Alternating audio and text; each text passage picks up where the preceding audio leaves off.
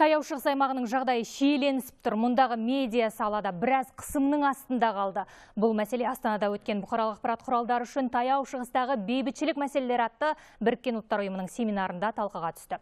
Шарада шығыстағы қазіргі жағдай мен палестиндік израильдік шиеленісті реттеу мәселелері шешілді. Себебі таяу шығыстың тыныштығы осы түйткілді шешуден кейін орнамақ. Сондай ақ қатысушылар өңірдегі қайшылықтарды жариялауда бақ пен әлеуметтік медианың рөлі туралы пікір алмасты. Настоящий момент э, социальными Бүгін осы семинар шеңберінде таяу шығыс еліндегі шиеленістерді шешу жолын қарастырып түсінуге тырысамыз. Осы шараға келген бақ өкілдері басынан өткерген, көзімен көрген мәселелерді айтып, ортаға салуы тиіс.